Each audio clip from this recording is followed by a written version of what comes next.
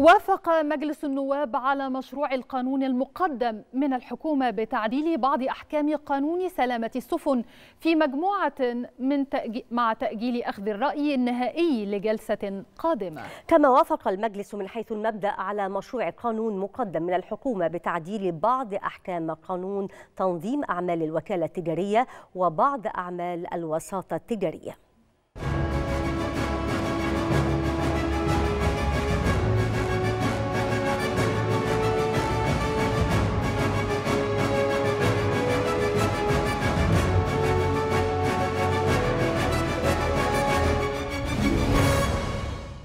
جلسة جديدة لمجلس النواب برئاسة المستشار الدكتور حنفي جبالي واصل خلالها مناقشة عدد من مشروعات القوانين. بدأت الجلسة بتفويض مكتب المجلس في تحديد موعد مناقشة لتسعة طلبات مقدمة من عدد من الأعضاء فيما يخص سياسة الحكومة بشأن أولوية تعيين أوائل الخريجين بالجهات الحكومية والارتقاء بالمستوى التعليمي والتربوي بالمدارس فضلا عن سد العجز في أعداد الأطباء والمستلزمات الطبية وعدد من الملفات الأخرى. كما تمت الموافقة على ما انتهى إليه تقرير اللجنة المشتركة عن قرار رئيس الجمهورية بشأن الموافقة على الاتفاق بين مصر وبوروندي بشأن الإعفاء المتبادل من تأشيرات الدخول لحاملي جوازات السفر الدبلوماسية والخاصة حيث وجه أعضاء مجلس النواب التحية للرئيس عبد الفتاح السيسي لدوره الفاعل في تعزيز العلاقات المصرية الأفريقية. عادت شمس مصر الذهبية إلى أفريقيا منذ تولي فخامة الرئيس السيسي مقاليد الحكم ونلمس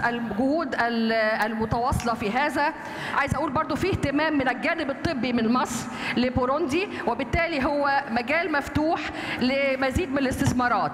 رفع التأشيرة هيساعد المسؤولين في الحراك ذهابا وإيابا. كذلك وافق المجلس على مشروع القانون المقدم من الحكومة بتعديل بعض أحكام قانون سلامة السفن في مجموعه مع تأجيل أخذ الرأي النهائي لجلسة قادمة. هذا القانون هيساعد في توفير بيانات بما يخص مالكي هذه السفن والتصرفات التي تطرأ على مثل هذه السفن بالإضافة أنه هو يوفر قاعدة بيانات تكون سهولة الاستدلال على السفن وأصحابها المرتكبي مثل هذه الجرائم. تلا ذلك الموافقة من حيث المبدأ على مشروع قانون مقدم من الحكومة بتعديل بعض أحكام قانون تنظيم أعمال الوكالة التجارية وبعض أعمال الوساطة التجارية على أن تناقش المواد في جلسة قادمة. هذا المشروع القانون يمكن بيقوم عمل تنظيم مهنة الوسيط لدخولها في الاقتصاد الرسمي. هي كان طبعا هذه المهنة مهنة عشوائية ويمكن دخولها هذا القانون بيلزم هذا النشاط والوسيط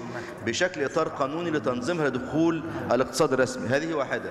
الأمر الثاني هو هيحافظ على المواطنين من عملية النصب والاحتيال وده هيخفف بالأثر على المحاكم وإجراءات التقاضي. وخلال الجلسة أحال رئيس المجلس المستشار الدكتور حنفي جبالي ثلاثة مشروعات قوانين مقدمة من الحكومة إلى اللجان النوعية المختصة للمجلس لدراستها وإعداد تقرير بشأنها.